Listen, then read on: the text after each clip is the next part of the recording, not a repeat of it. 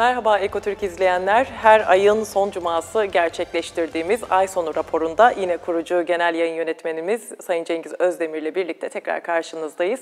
Hoş geldiniz Cengiz Bey. Hoş bulduk Özlem Hanım. Evet koca bir Mayıs ayını daha geride bıraktık Cengiz Bey. Az Evet. önce de e, fark ettik ki çok hızlı geçiyor zaman. Aslında e, zamanın e, nasıl diyelim hızlı aktığı bir dönemde böyle bir programı da yapmak farkındalığımızı da ortaya koyuyor. Genel bir değerlendirme yapacağız. Çok e, hızlı ve yoğun geçmiş bir aydan bahsedeceğiz. İsterseniz genel bir değerlendirmeyle programa başlayalım.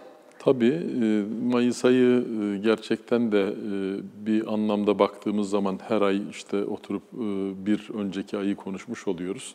Mayıs ayı dediğimizde aslında özellikle ülkemiz açısından da hemen aklımızda olan bir iki tarih var. Yani bunlardan bir tanesi tabii 19 Mayıs. 19 Mayıs bir anlamda bizim buradaki bir diğer devletimizin, Osmanlı Devleti'nin artık tarihin raflarındaki yerini alırken Türkiye Cumhuriyeti'nin kuruluşuyla ilgili ilk adımların atıldığı bir tarihe tekabül ediyor. Mustafa Kemal Atatürk biliyorsunuz Samsun'a ilk adımı attığında aslında bütün dünyada bir çağ değişimi yaşanıyor. İşte imparatorluklar yerini ulus devletlere bırakıyor.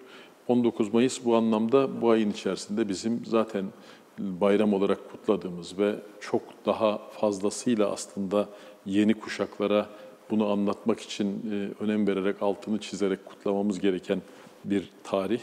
O yüzden e, bir ayın içerisinde tabii 19 Mayıs vardı. Bu e, korona pandemisi tabii hayatımızı çok etkiliyor. İster istemez kutlamalara da tesir ediyor. Fakat Mayıs ayı içerisinde tabii bir de e, her şeye rağmen ülkemizin demokrasi tarihine aslında kara bir leke olarak geçen 27 Mayıs 1960 ar- askeri darbesi var. Bu darbede e, tabii ki e, Türkiye e, çok şey kaybetti ama kayıplarının en başında bugün artık demokrasi şehidi olarak andığımız işte e, o günkü Başbakanımız e, Sayın Adnan Menderes, Fatih Rüştü Zorlu, işte e, o günkü Dışişleri Bakanımız ve Hasan Polatkan Maliye Bakanımız onların e, ne yazık ki bir darbe döneminde yine e, bir haksız darbe dönemi yargılamasıyla idama mahkum edilmesi Maalesef. bizim demokrasi tarihimize kara bir leke olarak geçti. Hatta orada şöyle bir ayrıntının da altını çizmek isterim. O gün bu darbeyi yapan kuvvetler önce Dışişleri Bakanı ve Maliye Bakanlığı e, darbenin bu yargılamasından sonra demek ki bir yıl falan geçmiş 1961'in 16 Eylül'ünde önce iki bakanı asıyorlar, asarak şehit ediyorlar. Aslında oradaki yapmak istedikleri şu, toplumun herhangi bir kesiminden herhangi bir tepki olup olmayacağını bir anlamda test ediyorlar. Ve bakanlarla ilgili o günkü şartlarda hiçbir tepki ortaya konulmayınca bir gün sonra, bir buçuk gün sonra 17 Eylül e, 61, 1961 günü öğleden sonraki saatlerde bu sefer e, Sayın Başbakan'a kıyıyorlar. E, Gerçekten de bu e, şöyle bir ayıp olarak ülke tarihine Kesinlikle. bir başka türlü de geçti. Biz uzun yıllar bu darbenin bu tarihini bayram olarak da kutladık. Ne yazık ki darbeyi yapanlar bunu böyle e, şartladılar ve e, çok sonrasında bu e, darbe tarihinin bayram olarak kutlanmasından vazgeçtik. 27 Mayıs deyince aslında bir şey daha hatırlamaya başladım. E, Bu 1960-27 Mayıs darbesinden 20 yıl sonra 1980'de e, aslında e, Gümrük ve Tekel Bakanlığı döneminde çok başarılı olan Gün Sazak, rahmetli Gün Sazak Bey şehit edildi. Gün Sazak Bey ilginç bir aileden geliyordu. Aslında milli mücadelede, işte e, ilk meclislerde babası Emin Sazak da sorumluluk üstlenmişti ve Gün Sazak Bey MHP'den e, o günkü hükümette bakan olduğu halde daha sonra yine teröre kurban e, edilen hem Uğur Mumcu hem Abdi İpekçi tarafından da sitayiş alınan bir isimdi. O da yine Mayıs ayı içerisinde, 27 Mayıs'a denk geldiği için aklıma geldi, onu da söylemiş oldum. Mayıs ayı içerisinde baktığımızda böylesi bir yandan e, işte kara dediğimiz Evet. hatıralarımız var. Bir yandan da tabii 19 Mayıs gibi bu e, yeni devletimizin kuruluşuna vesile olan ilk adımı Mustafa Kemal Atatürk'ün Samsun'a atarak oradan başlattığı milli mücadeleyi anmamız var. Mayıs e, bizim ülkemizde genel manada özellikle yakın tarihimize bakarak böyle değerlendirebileceğimiz bir ay. Evet, hepsini de rahmetle analım. Evet. Evet, e, Cengiz Bey söylediklerinizde ne kadar e, doğru noktalar var değil mi? Böyle 27 Mayıs tarihini ben de her belgeseli izlediğimde maalesef e, insanın duygulanıp kendine bile kızdığı bir aslında nokta dediğimizde 27 Bir de Mayıs'ta maalesef. yani şimdi düşünüyorum o tarihten sonra ne yazık ki ülkemizde neredeyse her 10 yılda bir darbeler oldu. Bu darbelerin tarihini de bir başka zaman konuşuruz. Ama e, en sonunu yine bu sefer millet artık sokağa inerek e, 15 Temmuz 2016'da ben bu işin sahibiyim deyip darbe yapılmasını engellemiş oldu. Tabii koca bir ülkenin böyle bir e, bilinç seviyesine gelmesi epey e, kayba e, bugüne kadar neden oldu. Çok sonrasında biz böyle bir noktaya gelmiş olduk. Evet efendim hemen ben 5 Mayıs'la başlamak istiyorum. Bu Mayıs ayında da görüyoruz ki diplomasinin aslında ön tarafa geçtiği, siyasi tarafın yine ön tarafa geçtiği bir ay gibi karşımızda duruyor. E, 2013 yılında e, Sayın Sisi'nin yönetime geçmesiyle birlikte Mısır'la olan ilişkilerimiz tam kırılgan bir noktaya geldi. Ancak e, 5 Mayıs'ta bir görüşme gerçekleşti Türkiye ile Mısır arasında. Yeniden bir düzenleme, yeniden iyileştirici ve e, nasıl diyelim uzlaşma sağlanıcı ve Doğu Akdeniz'de de haklarımızı savunacak bir adım mı geliyor? Sizden dinleyelim 5 Mayıs'a. Tabii 2013 yılından beri Mısır'la ilişkilerimiz e, maslahat güzel seviyesindeydi. En alt düzeyde seyreden bir ilişki e, vardı iki ülke arasında. Özellikle bölgeye, dünyaya ve tarihe baktığınız zaman Mısır'ın da Türkiye'nin de e, elbette özellikle bölgedeki ağırlığı çok e, bilinir.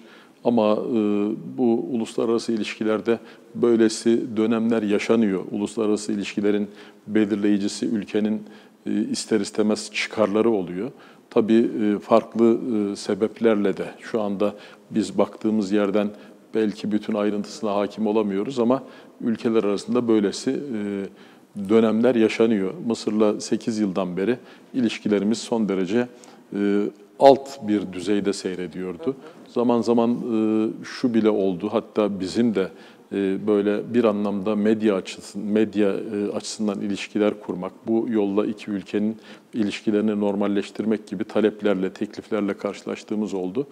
E, Şimdi e, belli bir dönem yaşandıktan sonra 5-6 Mayıs tarihlerinde Türkiye heyeti 8 yıl sonra Kahire'de oldu ve yeni bir dönemin istikşafi görüşmeleri başlatılmış oldu. Türkiye heyetinin başında yine e, bizim Dışişleri Bakan Yardımcımız vardı. İşte e, Sayın Sedat Önal, Büyükelçi Sedat Önal'ın başkanlığındaki bir heyetin karşısında yine Büyükelçi Sanat Loza, e, onun mevkidaşı karşı taraftaki Mısır heyetinin bakan yardımcısı ve istikşafi görüşmelerin başarılı geçtiğini, pozitif bir atmosferde seyrettiğini Sayın Dışişleri Bakanımız daha sonrasında açıkladı. Aynı şekilde benzeri bir açıklama onun mevkidaşı Samiha Şükrü tarafından da yapıldı. İki ülkenin açık bir politik zemine ulaşmak için bu istikşafi görüşmeleri başlattığı ifade edildi. Ee, Sizin de altını çizdiğiniz gibi tabii burada böyle bir zemin yakalanmış olursa aslında iki ülke içinde kazan kazan, iki ülke içinde özellikle Doğu Akdeniz konusunda kendi ülke menfaatlerini olumlu etkileyecek bir seyir söz konusu.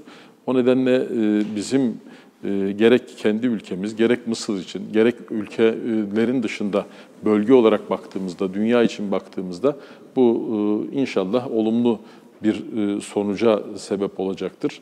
Böyle 8 yıl sonra da olsa bunun başlamış olması olumlu bir adım oldu. Kesinlikle. Özellikle yönetimdeki değişim ve Türkiye'nin de burada aslında göstermiş olduğu tepkiyle birlikte e, küslükler de bir yere kadar iki ülke arasında değil mi? Görünen o. Tabii e, bu e, köklü iki ülkenin e, siyasi kırılganlıklara sebep olan olaylar yaşaması normal. Bunlar yaşandı. Ama bundan sonrasında reel siyaset bağlamında atılması gereken adımlar atılıyor.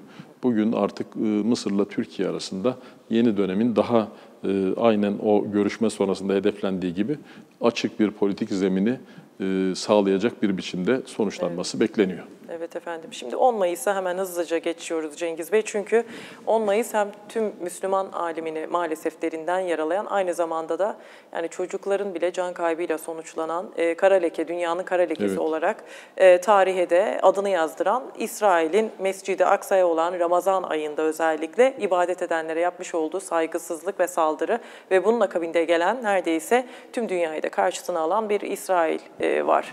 Genel bir değerlendirmeyle isterseniz başlayalım. Aynı zamanda da Türkiye'nin ilişkileri boyutu.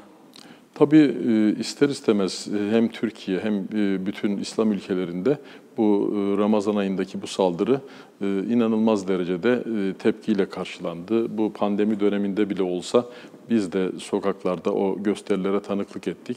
Gerçekten kabul edilemez e, bir saldırıydı.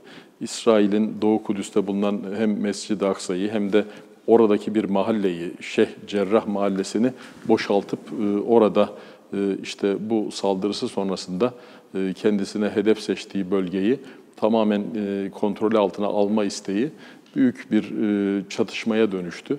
Filistin tarafından da direniş yapan örgütler orada karşıda roket atışlarında bulunarak bunu elbette cevaplandırmaya çalıştılar ve e, Filistinli direniş grupları İsrail polisine gün verdiler. Şu güne kadar burayı boşaltmalısınız diye. Tabi saldırıda özellikle çocuk ve kadın şöyle baktığımız zaman 66'sı çocuk, 39'u kadın, 250'den fazla Filistinli şehit oldu. Tabi bu e, özellikle İslam ülkelerinin kabul edebileceği bir durum değil. E, büyük protestolar oldu. Bu protestolarla yetinmeyip aslında daha ciddi tedbirler konusunda çağrılar gündeme geldi. Özellikle Filistin-Türkiye Cumhuriyeti açısından da çok hassas bir dosya olduğu için e, ABD'nin e, İsrail'e yaptığı son silah satışı ile ilgili 850 bin silahın satışı ile ilgili altında işte ABD Devlet Başkanı Joe Biden'ın e, imzasının bulunduğu silah satışı ile ilgili biz de e, Cumhurbaşkanlığı düzeyinde olayı e, reddettik, olayı protesto ettik. Tabii e, bir anlamda da bir ay önce yine burada konuştuğumuz sözde Ermeni soykırımı konusunda ABD Başkanı'nın e, serdettiği o laflardan sonra bu davranışın aslında bir çifte standart işareti olduğunu söyledik. Tabii e, özellikle Filistin toprakları kanla yıkanıyorken ona açık destek veren ABD'nin bu tavrı iç kamuoyunda da e, çok e, tepki topladı. E, Bundan sonrasında e, 11 gün süren çatışmalar sonrasında bir ateşkes imzalandı. Bu ateşkesin imzalanmasında Mısır e, arabulucu rolünü üstlendi.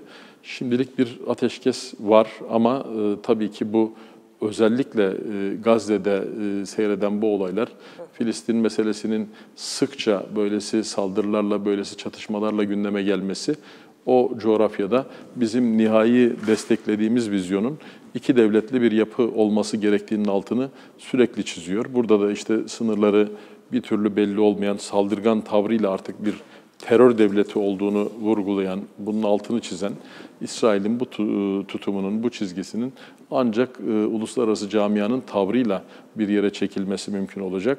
Aslında e, bizim işte siyasilerin de ifade ettiği gibi orada ölen sadece çocuklar değil, insanlığın kendisi olarak karşımıza çıktı. Kesinlikle en üzücü tarafı da zaten bu olayların e, maalesef çocuklara olan Evet. değil mi?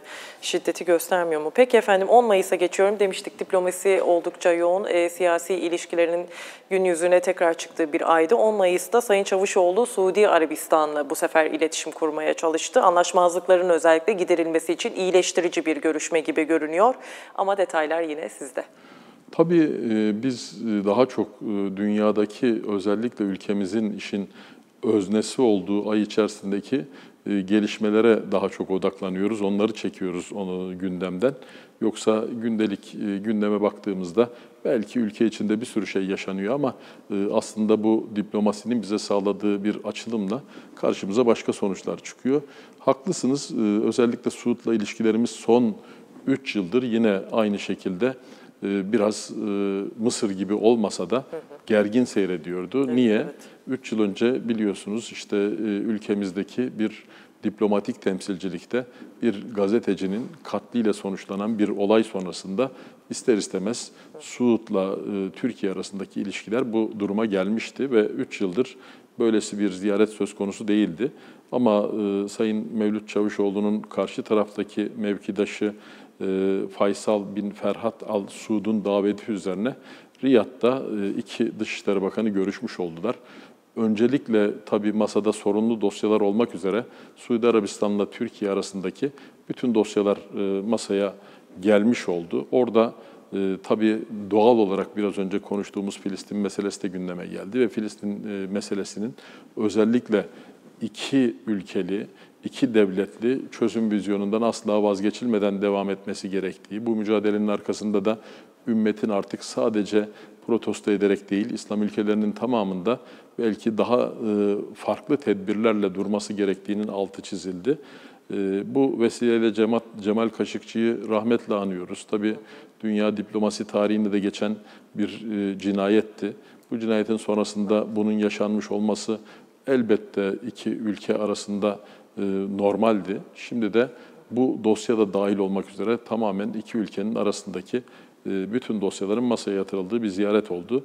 Suud'la da bizim 3 yıldır bu olay dolayısıyla e, gergin giden siyasetimizde şimdi yeni bir sayfanın aralandığını görüyoruz. Evet belli ki görüşmeler biraz daha yoğunlaşacak gibi. Evet. Hem Suudi Arabistan hem Mısır boyu tarafında. Evet. Çünkü çok konu var sizin de söylediğiniz evet. gibi. Peki efendim 13 Mayıs'a geçtiğimiz zaman başka bir konuya geçeceğiz. Biraz da medya sektörünün artık devrim niteliği taşıyan bir gelişmesi. Rusya uzayda çekilecek ilk film için takvimini açıkladı. Hatta oraya bir oyuncu ve yönetmenin de Ekim ayında uzaya gönderileceğini duyurdu. Heyecan yaratıcı ve merak uyandırıcı bir gelişme. Siz nasıl karşıladınız? İlginç tabii. Ee, böyle geçen ay içerisinde yaşadığımız olayları görünce bunu da konuşacağımız başlıklardan birisi olarak alalım istedik. Hı hı. Ee, gerçekten e, özellikle bu iki süper güç arasında şimdiye kadar e, uzaydaki mücadele uzaydaki savaş başka türlü seyrediyordu. Bundan sonrasında yeni e, ülkeler de biz de varız diye iddialarını ifade etmeye başlamışlardı. Ve hatta geçen aylarda biz de konuştuk. Türkiye de kendi uzay ajansını kurarak ben de varım iddiasında bulundu. Bunların hepsi güzel şeyler.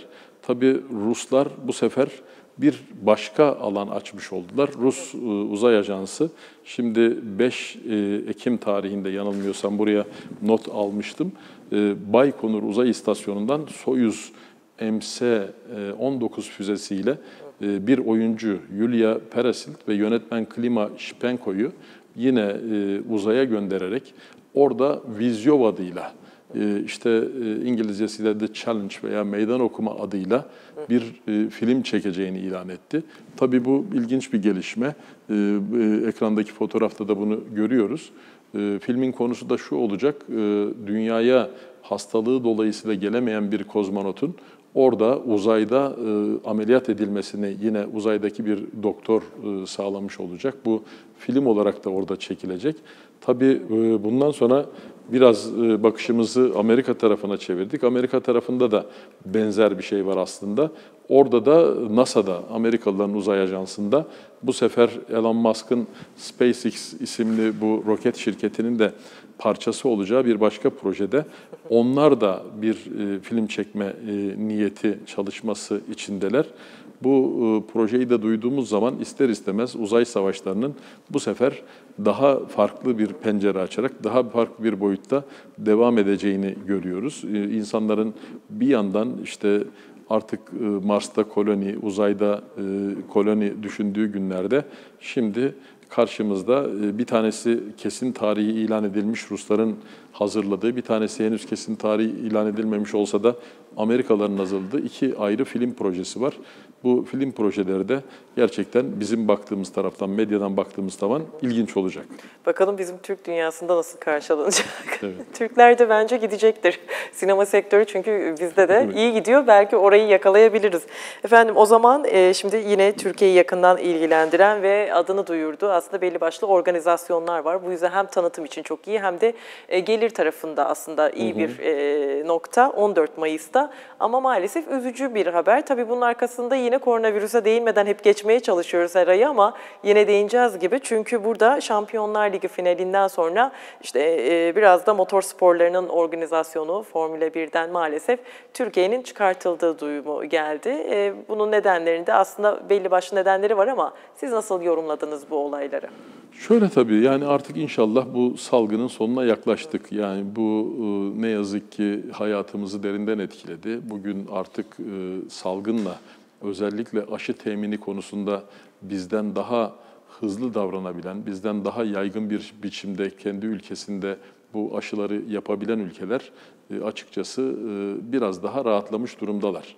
Belki onların yoğun bir biçimde kendi aşı ihtiyaçlarını karşılamış olmaları dolayısıyla şimdi sıra bize de geldi. Bizde de artık en azından geçtiğimiz günlerde Sağlık Bakanımız aşı temini konusunda önümüzdeki dönemin bizi rahatlatacak bir takım müjdelerini vermiş oldu. Biz de zaten yakın çevremizden de bunu görmeye başladık. Sadece yaş limitleriyle değil, bundan sonrasında onu daha da aşağıya çekerek yapacağız. Ama ne yazık ki e, Türkiye şu anda baktığımız zaman bazı e, Batı Avrupa ülkeleri veya Amerika ile mukayese edildiğinde onlara göre e, durumu biraz daha kötü, göreceli olarak kötü.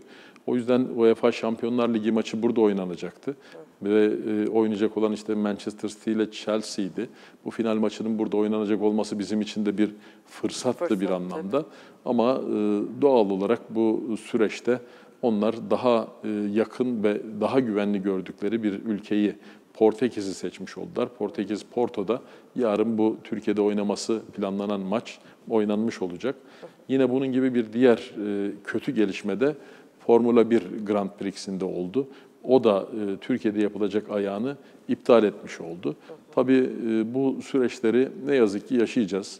Muhtemeldir ki şu anda işte Turizm Bakanımız Almanya'da ve bu yaz turizm döneminde uğrayacağımız mağduriyeti aza indirgemeye çalışıyoruz. Bir yandan işte geçtiğimiz günlerde Rusya ile benzeri görüşmeler yapıldı. Türkiye hiç olmazsa turizm tarafında bu işten az etkilensin diye uğraşıyoruz ama e, ne yazık ki buna benzer olaylar yaşıyoruz. O nedenle e, yani kanaatimiz artık konuştuğumuz e, dünyadan ve Türkiye'den uzmanlar da bunu dillendiriyorlar. Artık bu yoğunluğun geçildiği, inşallah önümüzdeki 6-7 ay arasının içinde artık daha bir rahat döneme geçeceğimiz, çoğumuzun aşılarını olacağı, o aşılar olduktan sonra da bir anlamda sürü bağışıklığının artık bu yolla temin edileceği bir döneme geçmiş olacağız. Ama e, sizin de söylediğiniz gibi özellikle bu Şampiyonlar Ligi maçının Türkiye'de yapılmasından vazgeçilmesi, yine aynı şekilde Grand Prix'in iptal edilmiş olması bizim açımızdan tabii ki kötü oldu. Evet, biraz üzücü oldu ama işte burada da e, tedbirlerin ne kadar aslında önemli olduğu da ortaya çıkıyor. Vaka sayılarındaki azalış hem ülkemizin bu tarz organizasyonlardan da geri kalmamasını geliyor. E, umuyoruz önümüzdeki süreçte daha çok fırsat olacaktır değil mi Cengiz Bey? O zaman 19 Mayıs, zaten 19 Mayıs'ın önemini biliyoruz. E, bunu andık ama e, bir diğer taraftan da bir Avrupa Parlamentosu'ndan bir haber geldi. Buna değinmenizi isteyeceğim sizden. Avrupa Birliği'nin Türkiye ile tam üyelik müzakerelerinin askıya alınması istendi. Zaten askıda değilmişti diyeceğim ama evet. hani öyle e, resmi de bir duyum hiçbir zaman olmadı. Yıllardır e, çocukluğumuzdan süre gelen bir dönem içerisinde Avrupa Birliği'ni hep konuştuk, hep tartışıldı. Ama bilmiyorum bu Avrupa Parlamentosu'na neden böyle bir e, askıya alınma talebi geldi? Tabii e, AB-Türkiye ilişkileri gerçekten de artık e, yılan hikayesine dönmüş evet. durumda. Dönem dönem e, çok e, ısıtıldığını, dönem dönem çok soğutulduğunu görüyoruz. Bu sefer Avrupa Parlamentosu'nda e, İspanyol parlamenter Nacho Sanchez Amor tarafından hazırlanan bir rapor vardı. Tabii raporun dili son derece ağırdı. Raporun dilinde e, Türkiye'nin hem temel haklar, hem demokrasi, hem hukukun üstünlüğü ve insan hakları konusunda e, özellikle sert eleştirilere muhatap tutulduğunu görüyoruz. Tabii aynı raporda bunların dışında e, geçtiğimiz ay ABD tarafında önümüze yine ısıtılıp getirilen bu işte sözde Ermeni soykırım konusunun bu rapora da sokuşturulduğunu görüyoruz. Tabii bu seferki Avrupa Parlamentosu'nun raporunun dili daha üst düzey eleştiriler içeriyor ve e, bunun dışında da baktığımız zaman oylamada da 480 evet, 64 hayır ve 150 çekimserle aslında bayağı yüksek bir çoğunlukla kabul edilen bir e, rapor oldu. Tabii Türkiye anında tepki verdi. Türkiye kabul edilemez olduğunu ifade etti. Ee, özellikle Dışişleri Bakanlığı tarafından açıklamada raporun yazım dilinin de kabul edilemez bir dil olduğunun altı çizilmiş oldu. Türkiye'nin e, deminki tabii bir e, sağlık meselesiydi. Bu da e, özellikle siyaset alanında bizim bir e, diğer baş ağrılarımızı barındıran bir e, rapor oldu. Tabii e, bunların e, cevabı verilecek ama onların ikazlarına gerek kalmadan da Türkiye bu alanlarda kendi durumunu varsa muhasebe edici, iyileştirici reform paketleri üzerinde çalışıyor. Bunlarla ilgili bir e, sürecin e, sürdüğünü zaten biliyoruz. Ama bu mutat olan Avrupa Parlamentosu'ndaki bize karşı yeri geldiğinde ilan eden raporlardan bu biraz daha farklı üst düzey eleştiri dili içeren bir rapordu. Evet Cengiz Bey şimdi müsaadenizle küçük bir ara yapalım efendim. Hı hı. 19 Mayıs'ı bitirdik. 21 Mayıs'ta yine e, şöyle magazinsel bir boyuta ele alacağız. Prenses Diana'nın röportajı ile ilgili belki biraz üzücü ama küçük bir ara. Aradan sonra ay sonu raporu kaldığı yerden devam ediyor.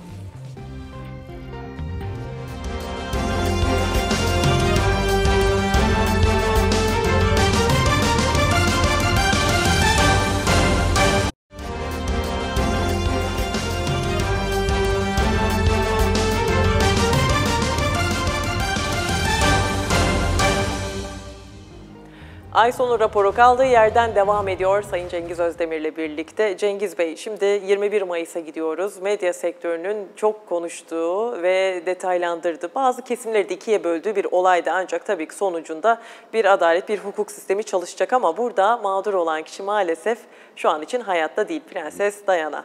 Röportaj soruşturmasında detaylar öne çıktıkça istifalarda dile geldi. Bir medya sektörü kurucusu olarak nasıl yorumladınız bu konuyu? Tabii hani e, yaygın bir söz vardır ya gerçeklerin geç de olsa ortaya çıkma diye evet. bir huyu vardır diye. Şimdi gerçekten de BBC'nin 1995'teki o e, röportajı çok iz bırakmıştı. Kesinlikle. Atlatma bir haber. İşte bu e, Prenses Diana'nın e, çok samimi itiraflara e, işte itiraflarda bulunduğu bir röportaj olarak çok konuşulmuştu. Tabii e, sonrasında zamanla ortaya çıkan bir takım belge ve bilgilerin ışığında baktığımız zaman aslında şu ortaya çıktı.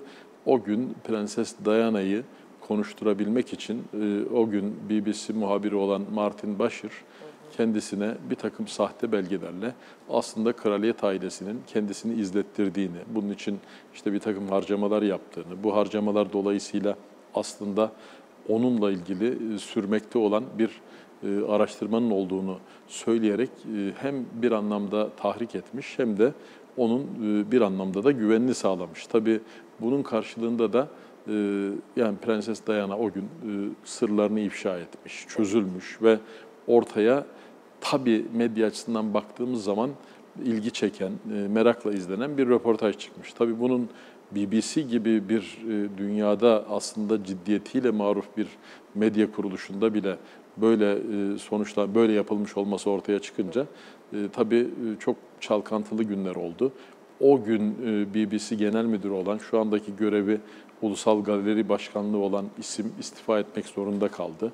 Tabii İngiltere Başbakanı Boris Johnson da yine kendisi bir beyanda bulunarak en azından kendi görüşüyle BBC'ye bir anlamda ikaz vermek, ikaz etmek durumunda kaldı aslında e, tüm bir medya sektörünün ders çıkartması gereken bir e, olay olduğu ortaya çıktı. Tabii e, yıllar sonra da olsa böyle bir gerçek ortaya çıkmış oldu. O gün ekranda, o gün kameraların önünde o itiraflarda bulunmasının sebebinin aslında kendisine yanlış bilgilerin, yanlış belgelerin verilmiş olduğu anlaşılınca da BBC'nin hesabını vermek zorunda kaldığı bir skandal biçiminde bu tezahür etti. İngiltere Başbakanı'nın da ikazıyla açıkçası. Bundan sonrasında bir daha böyle olayların yaşanmamasına dair ikazıyla olayın e, bugün arasından bu kadar yıl geçtikten sonra da e, istifalarla sonuçlanması zaten işin vehametini ortaya koymuş oldu. Biz e, Allah rahmet eylesin, toprağı bol olsun diyelim. Ama tabii bu röportaj çok da konuşulmuştu. Çok. Hatta e, ben de bunun akabinde hemen bir belgesel vardı. Onu izlemiştim. Prenses Diana'nın her gün bu röportajdan sonra çok pişman olduğunu, hatta yakın bir dostunun da e, çocuklarını hiç mi düşünmedin böyle tüm çünkü eşini Tabii. aldatmasından vesaire tüm detayları verdiği için e, düşünmediğini hatırlatmış. E, o da evet hiç düşünmeden onlara e, bu röportajı yaptım diyerek aslında hem sistemini hem de kendine olan kızgınlığını her gün dile getiriyormuş. O yüzden daha da üzücü boyutu aslında bir taraftan da Prenses Diana'nın hissederek bunları hatta ölümünün de aslında bunu tetiklediğiyle ilgili de işte tabii. bunlar Son derece dramatik, dramatik bir hale e, olay aslında. Doğru. E, Her taraf, ne tarafından bakarsak bakalım dramatik bir olay ama bir bakıyoruz ki e, o gün işte BBC muhabiri olan ismin aslında tutup da burada e, sahte bir takım belgelerle Martin Bashir'in işte kendisini böylesi bir itirafa yönlendirdiğini bugün aradan bu kadar sene geçtikten sonra görmüş oluyoruz. O nedenle e, medya tabii ki önemli. Medyanın e, bir ülkede dördüncü kuvvet olarak üstlendiği bir sorumluluk var. Ama bu sorumluluğunun sınırının da e, doğru çizilmiş olması lazım.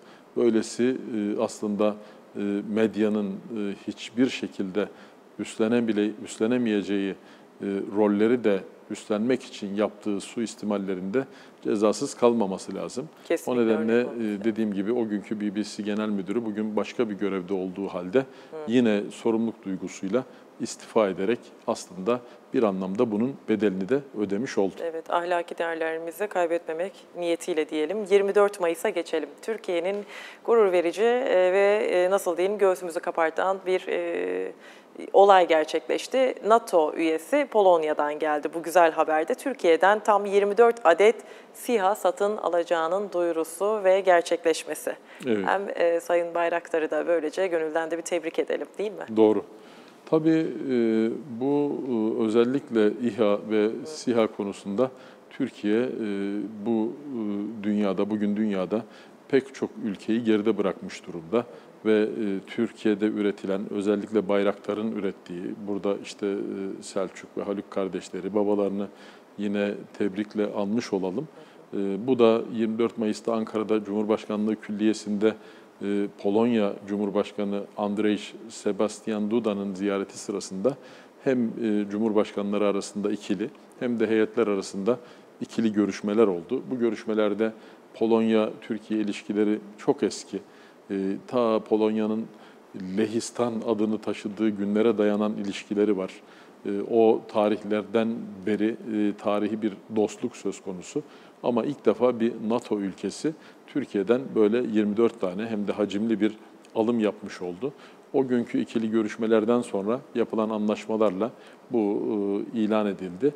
Baykar Savunma'nın e, bu alandaki yetkinliği artık zaten dünya tarafından kabul ediliyor ve e, gerek bizim coğrafyamızda, gerek işte Asya'da, gerek Afrika'da ama şimdi bir NATO ülkesinde de Türkiye'den satın alınan SİHA'lar kullanılmaya başlandı. Silahlı insansız hava aracı e, dediğimiz araçlar bunlar. E, Arkadaşlarımız bir fotoğrafını da koymuşlar.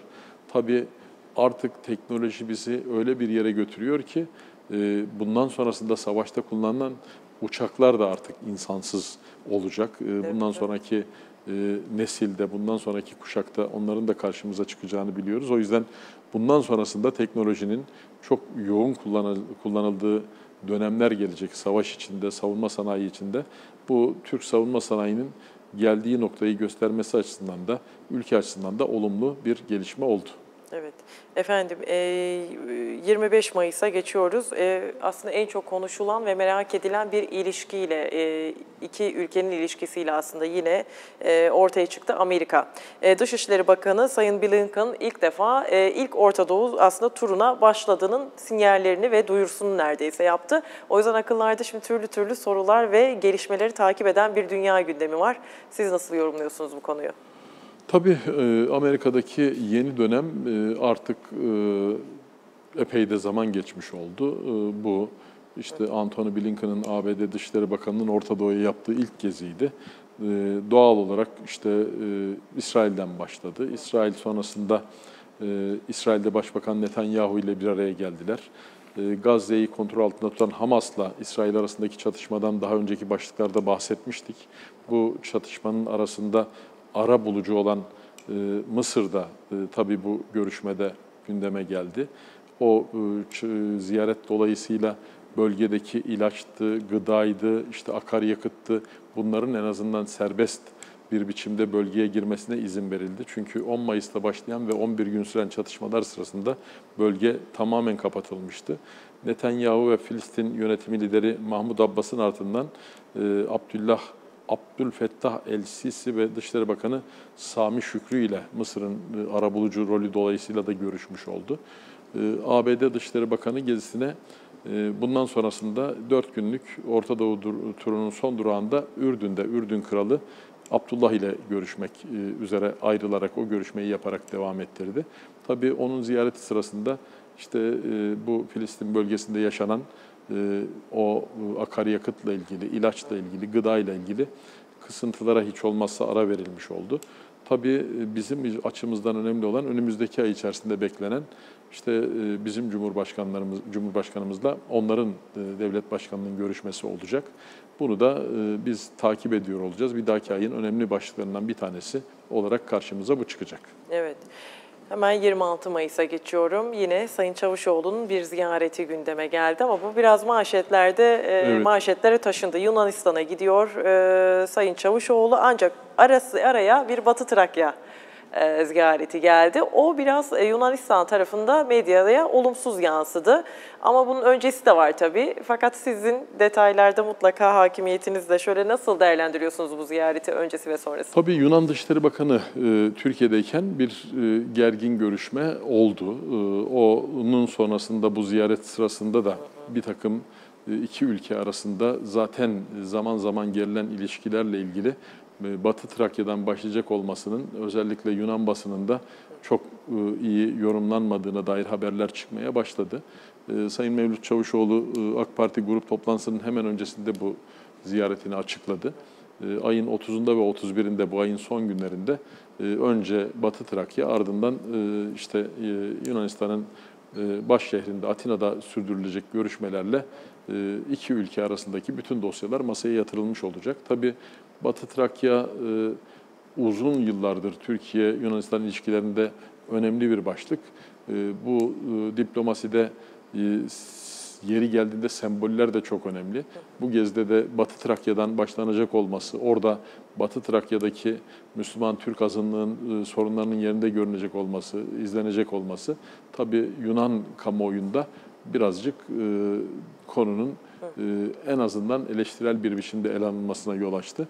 Tabii önümüzdeki günlerde 30'unda ve 31'inde bu ziyaretin daha ayrıntısını görmüş olacağız. Oradaki temsilcilerle Sayın Bakan'ın görüşmesi olacak.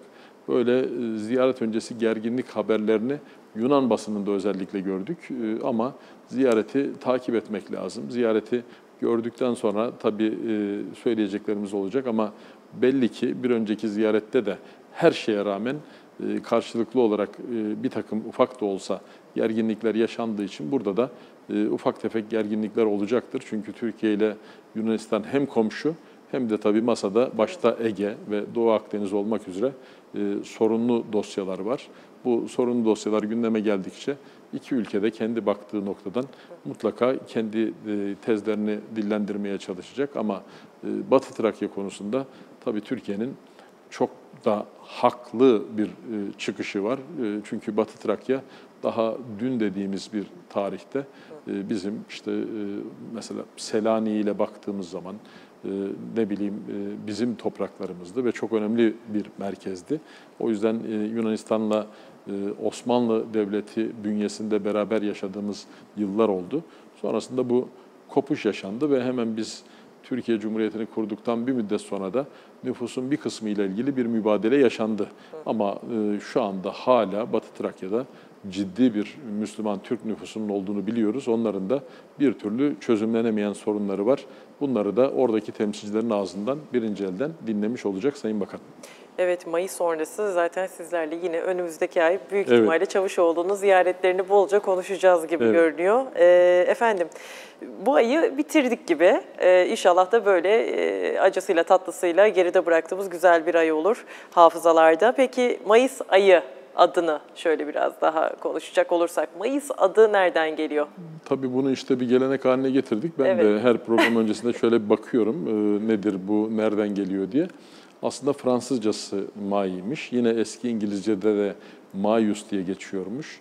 Yine Romalılardan yağmur tanrıçası olan Maria'dan, Maia'dan almaktaymış. Bereket ve bitkileri büyüten tanrıça olarak da bilinirmiş bu tanrıça. Ve Latincesi de Maius Melelis'miş. Maia'nın ayı diye geçiyor. Türkçe'ye de Latinceden geçmiş aslında. Tam kelime anlamına baktığımızda sığır gübresi anlamına geliyor. Tabii yaş sığır gübresi anlamına geliyor. Yıl, yıl- yılın bu dönemlerinde yağmur yağışı çok olduğundan bu ismin verildiği söyleniyor. Ee, Demek ki bu e, özellikle ay isimleri e, genellikle işte e, Latinceden, genellikle yine Romalılardan kalma bir takım sembollerle geliyormuş. Mayıs'la ilgili de ben baktığımda böylesi kayıtlara rast geldim. Evet Mayıs ayı zaten e, yağış ayı olduğunu biz bu ayda gördük. Yani bir türlü yazı getiremedik. Ama mevsimler değişmeye de başladı gibi. Bakalım bu isimleri de değiştirmek gerekecek mi önümüzdeki 10 yıl sonrasında belki. Çünkü hepsinin anlamı aslında o ayın mevsimiyle de alakalı e, adlar. Ama bakalım önümüzdeki süreç bize ne gibi sürprizler yaşatacak. Efendim ben şimdi Feyza Hanım'ın, e, editörümüz Feyza Hanım'ın e, şimdi sürprizini bırakıyorum. Çünkü bir arşivden bir dosya gelecek. Bakalım hangi arşivden ne çık arşivden ne çıkmış. Hem ses dinleniyor hem manzara seyrediliyor demiş. Avrupa'nın ekseri memleketlerinde uzaktan görme neşriyatı başladı. Evet, e, tabii e, o tarihlerde henüz daha e, ismi de Türkçeleşmemiş. Böyle benim de buradan okuduğum kadarıyla. Evet. Ben daha öncesinde arşivde baktım. Bu yanılmıyorsam 1935 tarihli bir akşam gazetesi. Onun yine Mayıs ayında verdiği bir haber. Demek ki 1935'te televizyon uzaktan görme neşriyatı başlamıştır diye Berlin'de, işte Londra'da ve Paris'te başlayan televizyon yayınlarından bahsediyor ve televizyonun aslında görüntülü radyo olduğunu söylüyor. Küçük beyaz bir perdesi olduğunu söylüyor ve işte bu 1935'te başlayan e, gelenek bugün artık bütün dünyada e, ekranlarla artık aynı anda belki 2-3 ekrandan takip ettiğimiz gelişmelerin aracısı haline geldi. Ama o günün dünyasında radyo yayınlarının bir takım fotoğraflara dönüşmesi bile büyük hadiseymiş. O yüzden medya ile ilgili böyle bir haberi de biraz şaşkınlık e, işaretiyle bir ünlem nidasıyla vermiş gazetede verirken hem ses dinleniyor hem manzara seyrediliyor demiş. Tabii e, bütün bunlarda da aslında insanlığın e, geldiği noktayı görüyoruz. O Evet. gelişmeye tanıklık ediyoruz. İşte elektriğin icadını düşünün, telefonun icadını düşünün ve televizyonun icadındaki fotoğrafa bakacak olursanız orada son derece tabii artık bir prototipten, o ilk günlerdeki modellerden bahsettiğimiz için bugün için bize çok iptidai gelen ama Çok. o günün dünyasında dünyada işte sayılı merkezde, Berlin'de, Paris'te, Londra'da olduğunu gördüğümüz bir yeni adımdan bahsediliyor. Ee, Ve bu adım e, bugün artık bütün dünyayı kontrolü altına almış durumda. Kesin. Bugün artık e, medyanın üstüne bir de sosyal medya tarafını koyduğumuz zaman bu e, insanlığın hayatında vazgeçilmez bir ekran tutkusu haline dönmüş oldu. Hatta bugün de neyi konuştuk? Uzayda film Evet. çekilmesi. Yani nasıl bir boyuta geçtiğimizi aslında bu Evet. tarz haberlerle de görüyoruz. Ee, Şaşırtılan nokta zaten bu. Peki efendim ben şimdi e, Mayıs adını öğrendik sizlerden detaylarıyla. Sonrasında bir arşivden küçük bir kesit ama benim gözüm masadaki kitapta. Ayın kitabını çok merak ediyorum. Geçtiğimiz ayda çok güzel bir kitaba yer vermiştiniz. Bu ayın kitabı hem anlamlı, günümüze özel hem de sizden dinleyelim detaylarını. Aslında biraz o niyetle de getirdim. Ben de açıkçası yeni okudum. Ee, Zafer Toprak Bey'in e, hazırladığı bir kitap bu. Kurucu Felsefenin Evrimi diye e, e, çok benim etkilendiğim bir kitap oldu. Şu anlamda tabii hep şöyle geçer işte lisede tarih dersinde okursunuz. Osmanlı Devleti yıkıldı, işte Türkiye Cumhuriyeti kuruldu. Aslında bu iki cümlecik değildir. Ya bunun arkasında çok e, belki birkaç asırlık bir gelişmeler zinciri, birkaç asırlık yazılan, çizilen telif ve tercüme eserler vardır. Burada aslında kurucu felsefenin evrimini ortaya koyarken e, Zafer Toprak Bey şunu yapmış. Tabii e, Tanzimat döneminden başlamak üzere 1919'a Mustafa Kemal Atatürk'ün milli mücadeleyi başlattığı ve sürdürdüğü dönemlere varıncaya kadar e, arkadaki telif ve tercüme çalışmalarını birebir incelemiş. Tabii 100 yılı aşkın bir neşriyat yapılmış. Bu neşriyatta da o günün dünyasında batıdan çok etkilenilmiş. Özellikle Fransa, Türkiye üzerinde çok etkili olmuş. Fransa'nın e, hem Fransız devrimi hem 19. yüzyıl düşünce hayatı hem de 3. Cumhuriyet Fransası Cön Türkler ve Kemalistler üzerinde çok etkili olmuş. Kemalist kadrolar oradan etkilenmiş. Aslında bir tenakuz gibi görünen şöyle bir şey de var. Bir yandan Batı dünyasına karşı verilen bir milli mücadele var ama öte yandan da bu milli mücadele sonrasında oradan esinlenilerek kurulmuş olan bir e, devlet var. Tabii burada e, Mustafa Kemal'in Mustafa Kemal Atatürk'ün özellikle Çankaya'da bulundurduğu kitaplığı, kendi sofralarını e, son derece ayrıntılı bir biçimde yazar incelemiş ve o günün Türkiye'si o kadar güzel sergileniyor ki ve hatta mesela bir örnek olsun diye şunu vereyim. Ya 1920'li yıllarda Türk fikir hayatına yön veren işte Falih Rıfkı Atay'ın çıkarttığı yeni mecmua var. Mehmet Mesih'in çıkarttığı milli mecmua var. Mehmet Emin ve Faruk Nafız Çamlıbel'in çıkarttığı Hayat dergisi var. Türk Ocakları'nın çıkarttığı Türk Yurdu dergisi var. Resimdahi, Sevimdahi adıyla Serteller'in çıkardığı dergiler var. Kurtuluş, Aydınlık ve Meslek dergileri var. Yani e, Birinci Dünya Savaşı bitmiş, milli mücadelenin sonuna gelinmiş ama öylesi bir günde bile, öylesi bir dönemde bile sadece fikir dergilerine baktığımızda inanılmaz fikir dergileri var. O nedenle e, tabii ki işte Türkiye Cumhuriyeti kuruldu, Osmanlı Devleti yıkıldı diyoruz ama bunun arkasında nereden bakarsanız bakın bir asrı aşkın bir külliyat var. O bir asır içerisinde e, çevrilen bir sürü eser var. Bunu bütün işte sosyolojiydi, kültürdü, işte siyasetti her alanda farklı e, değerlendirmeler, farklı bölümlerde ele alarak son derece kapsamlı bir çalışma olmuş. Geçen sene aslında basılmış, bu sene ikinci baskısı yapılmış. Ben e, yeni tamamladım ve çok etkilendim. O yüzden elimde e, öyle sembolik yaklaşımın dışında çok ayrıntılı bir biçimde, çok etraflıca işte kurucu felsefenin evriminin nasıl oluştuğunu anlatan bir kitap olduğu için e, bunu bu ayın kitabı olarak özellikle bahsedeyim diye elimin altında getirdim. Çok güzel bir kitaptan bahsettiniz. Neredeyse tüm raflarda da olması gerekiyor evet. dediğiniz gibi. Hem e, gelmişi ve geçmişi öğrenmenin de faydaları. E, Cengiz Bey böylece ay sonu burada noktalayacağız. Ay sonu raporunu Mayıs ayında devirdik. Haziran ayında yeni bir programla tekrar izleyiciler İnşallah. karşısında olacağız. Aslında Haziran'da e, bir anlamda da bir anlamda değil gerçekte evet. de yeni yılın yarısını da bitirmiş olacağız. O yüzden zamanın ne kadar hızlı aktığını da bir yandan görmüş oluyoruz. Tabii bu pandemi dönemine rağmen işte e, dünyada ve Türkiye'de hepimizi derinden etkileyen olaylarla karşılaşıyoruz.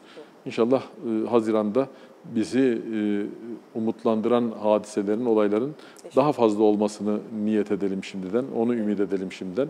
Ben özellikle güzel bir Haziran olsun diye bu temenniyle sözümü bağlamış olayım böyle bir niyetle başladık efendim. Çok teşekkür ediyorum ben tekrar teşekkür Cengiz ediyorum. Bey. Ağzınıza sağlık. Sağ olun. Ay sonu raporu e, Korucu Genel Yayın Yönetmenimiz Sayın Cengiz Özdemir ile birlikte Mayıs ayında burada noktaladık efendim. Önümüzdeki ay Haziran ayından sonunda tekrar görüşeceğiz ama kısa bir ara aradan sonra Ekotürk izlemeye devam edin.